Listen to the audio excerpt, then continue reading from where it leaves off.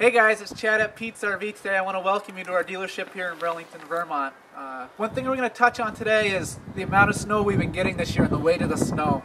A lot of customers are concerned are their roofs going to be damaged with the amount of snow we've got this year.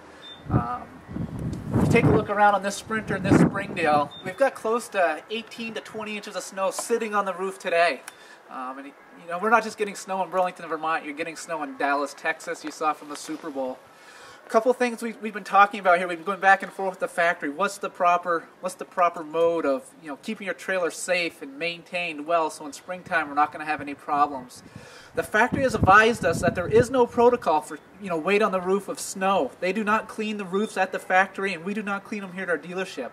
But we do have a lot of customers that are concerned with the weight, and they are going to clean their roofs. Um, I just want to point out a few tips you want to keep in mind when you're going to be cleaning your roofs if you clean your roofs. Number one, always use a plastic shovel.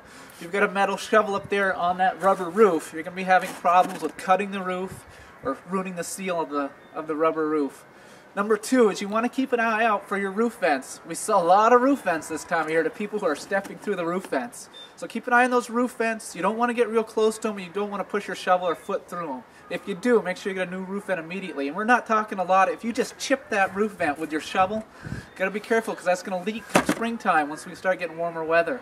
Here in Vermont, that's April. Could be in Dallas, Texas, where it's warmer tomorrow. But um, number three, keep an eye, eye out for those vents from your holding tanks the little white caps on your roof, that's a basically a vent for the, the black gray water of your trailer. So you want to make sure you don't cut those with the shovel or crack them or knock them off. If you do, what happens, the water will settle inside the wall of your trailer. So the same thing, and if you do damage those, make sure you get a new one right away. But that's just the big, the number four, the safest thing, is really slippery up there. If you're up there, make sure you got a ladder that's tall enough. You're not on a six foot ladder hanging off the side of your trailer.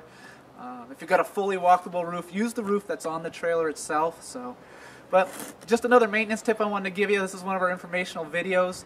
If you want more information, you can follow me, facebook.com slash pizza chad Pete's RV prv sorry chad prv any questions let me know i'll be glad to help you we're hoping here i'm here five days a week answering questions for you thanks very much thanks for thinking Pete's RV center